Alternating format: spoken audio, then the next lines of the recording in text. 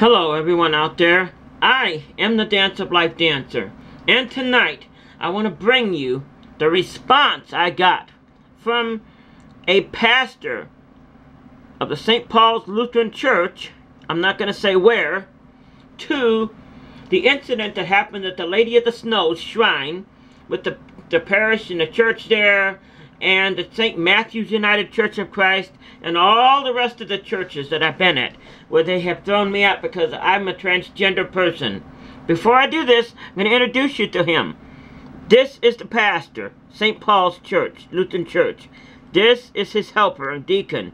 Yes, they're both dressed as females, as you notice. They, that's the pastor, he's dressed as a female. This is his deacon, dressed as a female. Now, I'm going to go to the incident that the famous one, St. Paul's, I mean, St. Matthew's United Church of Christ. That's not it. And I'm going to show you this as I talk. Now, this being said, here was his response to when I told him about the incident at the St. Matthew's United Church, which is this one right here and the incident at the Lady of the Snows. He said that, oh, if I was came in there dressed in a dress, such as I am right here, meaning him, which, uh, he was in a dress, believe it or not. Uh, so he does that too. Um, they would, uh, they have a right to throw me out. Lesbians, they have a right to throw them out. Gays, they have a right to throw them out. In other words, what he's saying is the shrine has a right to throw me out because I'm a transgender, or you out because you're a gay. Such as right here that's happening at the St. Matthew's United Church of Christ, the famous one, back in 2009 that spread across the country. Okay, my friend, uh, his exact words were, if I was dressed in a dress, meaning him, the pastor of the St. Uh, Paul's Lutheran Church, which I showed you, his picture, then I too would be expected to be thrown out because of I am dressed in a female. And what he said about that as a female, what he said about that was, I'm just a, a man dressed as a female, meaning me. And uh, all us transgenders out there know that we, I, am not a man dressed as a female. I am a female. Not what Pastor John said, not what the pastor said. He said, oh, I should expect to get thrown out of all these churches because Jesus don't accept me there. As you're seeing happening right here in this place right here. See the police taking me out. Of, that's St. Matthew's United Church of Christ, 2009. And he's saying, uh, oh, I should expect to get thrown out of there because of the, me being dressed in a dress which is the same thing the shrine said to me. I should expect to be thrown out of there because of that, which is the same thing the St. Paul Lutheran Church said to me, because of who I am. Oh, that's okay for them to throw me out there. He said he didn't see nothing wrong with that. He doesn't see nothing wrong with what's going on right here at the St. Matthew's United Church of Christ, with the police showing taking me out of there. Which is the same thing that happened at the shrine, Lady of the Snows. This is the same thing. I didn't get a, uh, do have a video of that one, yes. But they said that I can't post that one. So I'm using the St. Matthew's United Church of Christ in St. in um, Belleville uh, in a replacement.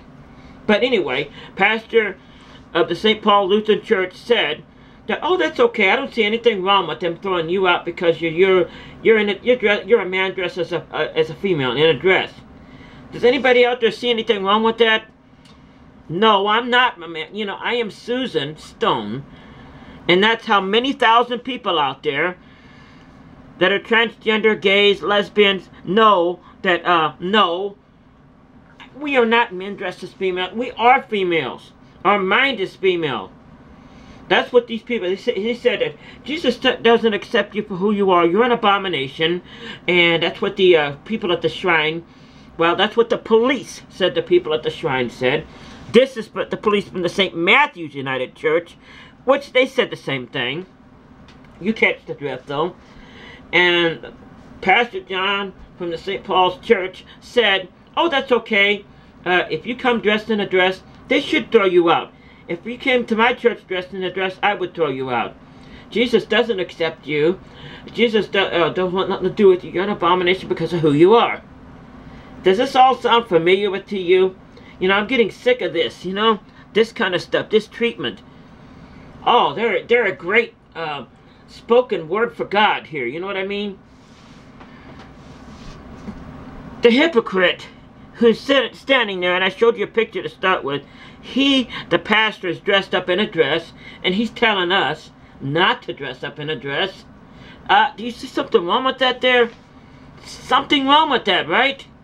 Because, uh, hmm, I don't know. Something wrong with that there. See? The police of the St. Matthew's United Church of Christ. That's the famous incident that happened back in 2009. One that spread all across the country. And he said that, uh, oh, I, that's okay for them to throw me out. That's okay for them to do this to me. That's okay for everybody to make a fool out of me and other transgenders. He says, here's what his words were. All transgenders, all uh, transsexuals should be treated the same way. Meaning they should all be thrown out of church. That's what it, you know what, I didn't make this up. He said it. He said it himself. That's the reason I'm putting this on the air. This is his response to incidents like this. Or, this was the St. Matthew's United Church of Christ. The incident that happened at the uh, shrine. This is his response to this kind of stuff. And his response again was, you heard me what I said. All transgenders and tr transsexuals should be treated the same. Oh, it's okay for him to, to, to throw me out because of who I am. Uh, you know what? That's a terrific witness for God. Ah, thy, thy hypocrite, preacher, thy hypocrite.